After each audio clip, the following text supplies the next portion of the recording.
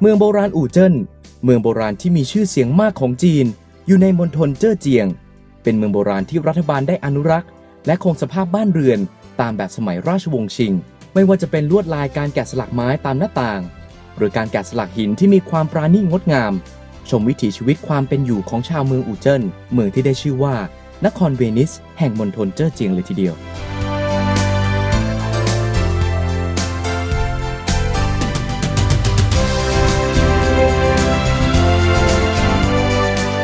มาถึงตรงนี้นะฮะสิ่งที่อยากให้เห็น 2 อย่างครับคือที่วางไว้อยู่บนแท่นตรงนี้นะฮะด้านขวานี้เป็นคันธนูนะครับซึ่งหลักการเนี่ยเมื่อกี้เรามาจากห้องที่ใช้ยานพาหนะนั่นก็คือเรือพอมาถึงบ้านของเจ้าบ่าวแล้วเนี่ยนะฮะต้องใช้คันธนูก่อนเข้าบ้าน ยิง 3 จุดนะฮะคือฟ้าดินนะฮะแล้วก็ยิงไปที่เรือนั่นเองครับเพื่อขจัดสิ่งที่ไม่ดีเนี่ยไปให้หมดเลยนะครับ แล้วก็อีกอย่างหนึ่งนะฮะ หลังจากที่แต่งงานพิธีวิวาห์เสร็จเรียบร้อยแล้ว แล้วก็เข้าไปในห้องส่วนตัวของเจ้าบ่าวเจ้าสาวนะฮะท่านนึกสภาพในในหนังที่จะเห็นเป็นเจ้าสาวมีแบบเป็นผ้าเป็นมุ้งๆหน่อยใช่ไหมฮะจะใช้ไม้เนี่ยเป็นตัวเปิดไม่ใช้มือจับนะฮะเป็นพิธีในอดีตนะฮะซึ่ง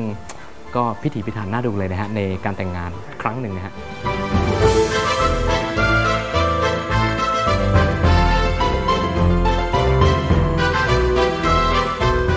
เห็นเสาด้านหลังคนนี้ไหมฮะ ดูค่อนข้างจะโบราณถูกไหมฮะ แต่ว่าไม่น่าเชื่อ ผมไม่รู้เลยจนกว่ามาฟังข้อมูลนะครับว่า ความเก่าแก่ของของหินที่เป็นเสานี่นะฮะอยู่ที่ 1,300 ปี โอ้โห ซึ่งก็เป็นหน้าทางเข้านะฮะสำหรับด้านหลังไม่ได้เป็นบ้านนะครับ แต่ว่าเป็นห้องสมุดนะฮะที่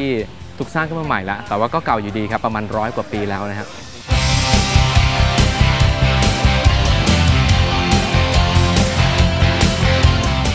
ให้แบงค์ร้อยไป เขาดูด้วยนะครับว่าแบงค์แบงค์จริงหรือแบงค์ปลอม แท่งละ2หยวนนะฮะ ประมาณ 10 บาท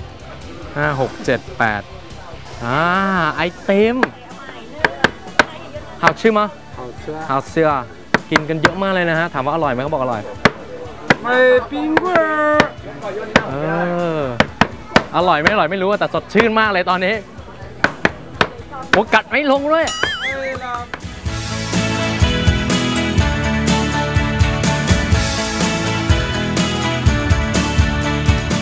อย่างที่บอกไปนะครับว่าหมู่บ้านนี้เนี่ยเริ่มมีคนอยู่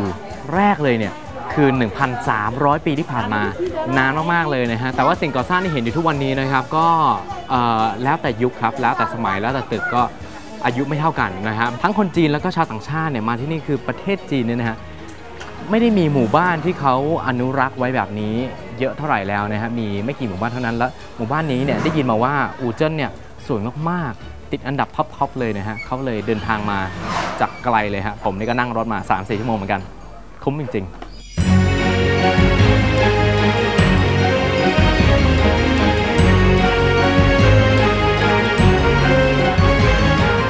มาถึงห้องนี้กันบ้างนะครับ จะสังเกตได้ว่าเป็นห้องที่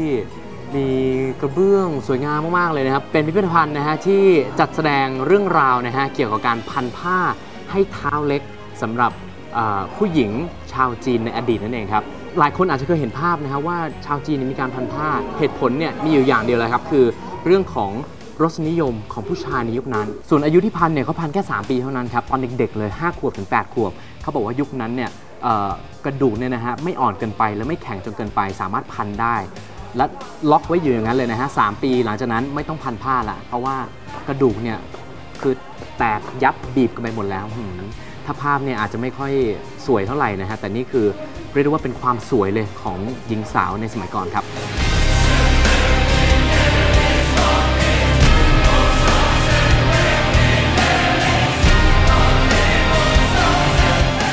สภาพแวดล้อมภายในเมืองโบราณอู่เจิ้นนั้น ยังคงความสวยงามน่าอยู่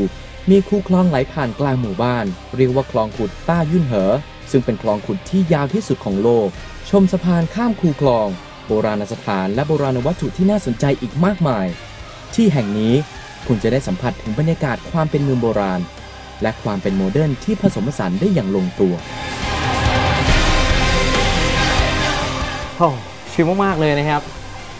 ใครที่มาที่เมืองโบราณอูเจิ้นนะครับ สามารถนั่งเรือแบบนี้ได้ ชมเมืองนะครับ ตามคลองซึ่งคลองเนี่ยไหลตามผ่านทะลุเมืองโบราณไปเลยนะครับ เป็นคลองขุดที่ ยาวที่สุดในโลกด้วยนะครับนะฮะสองข้างทางนี่ก็สามารถเห็นนักท่องเที่ยวนะฮะแล้วก็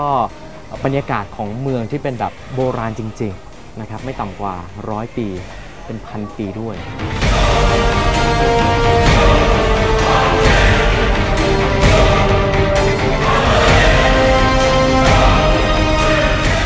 ไฮซีซั่นของที่นี่นะฮะจะเป็นเดือน 7 เดือน 8 แล้วก็เดือน 9 นะครับ เพราะว่าเด็กๆเนี่ยปิดเทอมนะฮะปิดเทอมใหญ่เลยหยุดเรียนนะครับพ่อแม่เขาก็พาเขาออกมาท่องเที่ยวนะครับรวมถึงอากาศด้วย ถ้าเป็นช่วงหน้าหนาวในยหิมะตกนะครับก็จะเที่ยวไม่ค่อยสะดวกเท่าไหร่นะฮะถึงแล้วครับคุณผู้ชม 25 นาทีสบายมากไปเอาเดินทางต่อ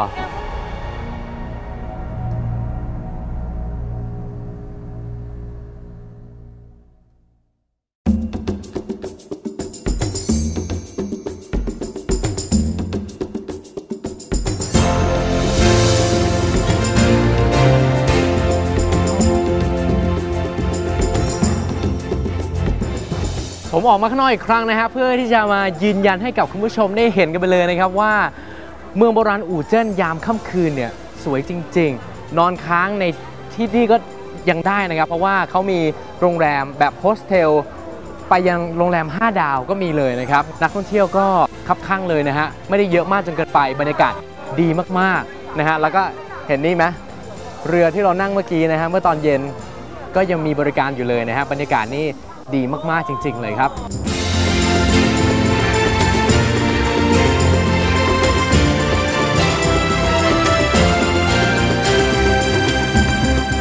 ขอแนะนำเลยนะครับคุณผู้ชมสำหรับใครที่คิดที่จะเดินทางมาเที่ยวที่เมืองโบราณอู่เจิ้นนะครับเคลียร์ทั้งวันเลย นอนค้างที่นี่ได้ก็ดี อาจจะต้องจองล่วงหน้าเล็กน้อยนะครับแต่ว่าเชื่อว่ามาแล้วคุ้มทั้งทีเอาให้คุ้มเลยนะครับ แล้วก็ใครที่ต้องการมาถ่ายรูปนะพกขาตั้งกล้องมาด้วย เพราะว่าถ้าถ่ายตอนกลางคืนเนี่ย แสงอาจจะน้อยนิดนึงนะฮะถ้าตั้งขาแล้วก็ได้ช็อตสวยๆเนี่ยเรียกว่าเป็นความทรงจำดีๆ กลับบ้านไปเลยแหละครับผม